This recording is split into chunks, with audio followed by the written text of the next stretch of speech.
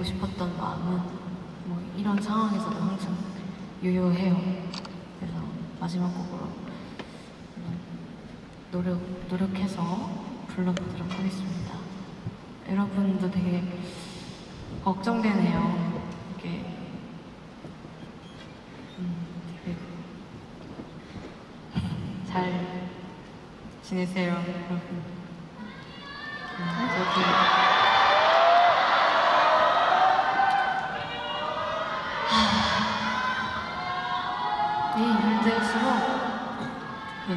많이 사랑해야 돼요. 그래서 참 진짜 정말